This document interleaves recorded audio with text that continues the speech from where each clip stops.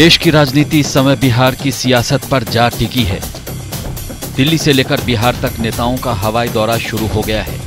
ऐसी खबर है कि एक दो दिनों के भीतर जेडीयू बीजेपी से गठबंधन तोड़ने का ऐलान कर सकती है। जेडीयू और आरजेडी अपने अपने विधायकों और सांसदों को पटना में मौजूद रहने का फरमान जारी कर दिया है। नीतीश और बीजेपी के बीच सब कुछ ठीक नहीं चल रहा। यह तो तय है, ऐसे में हम जानेंगे कि नीतीश कुमार अपने आगे की रणनीति क्या बना सकते हैं। इसी पर इस रिपोर्ट में हम विस्तार से चर्चा करेंगे।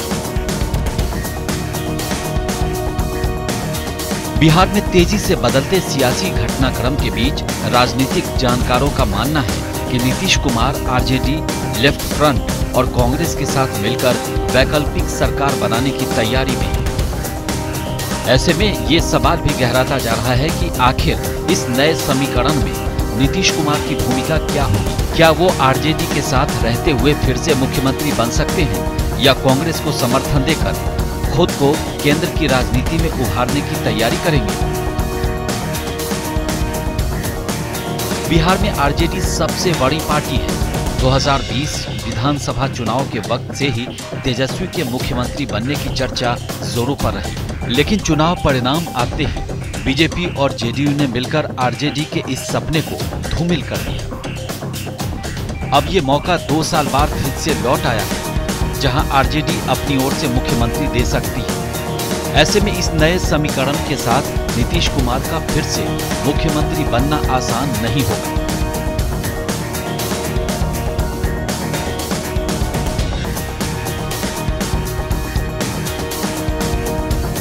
खबर यह भी है कि नीतीश कुमार ने कांग्रेस अध्यक्ष सोनिया गांधी से फ़ोन पर बात की, जिसके बाद से कांग्रेस के प्रदेश अध्यक्ष मदन मोहन झा और पार्टी विधायक दल के नेता अजीत शर्मा ने रणनीति बनाने के लिए सदाकत आश्रम में अपने विधायकों की एक बैठक बुलाई।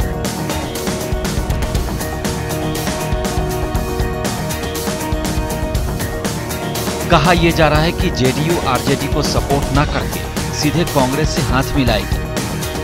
अगर ऐसा होता है तो कांग्रेस और जेडीयू के विधायकों की संख्या भी ठीक ठाक देखने को मिल सकता है। लेकिन इसके बावजूद आरजेडी के बराबर तो नहीं हो पाएगा। अपने संख्या बल के बदौलत तेजस्वी मुख्यमंत्री का दावा ठोक सकते हैं। अब ऐसे में नीतीश कुमार के पास मुख्यमंत्री बनने का दो विकल्प बचता है। एक, आरजेडी खुद आगे आकर नीतीश कुमार को मुख्यमंत्री बनने का न्योता दे दे, या फिर लेफ़्ट फ्रंट का साथ लेकर नीतीश कुमार फिर से बिहार की सियासत संभाल सकते हैं।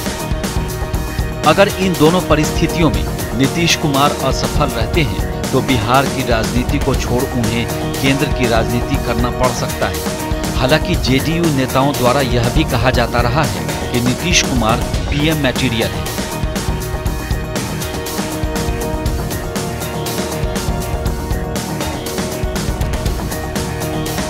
Bureau report, news India, digital.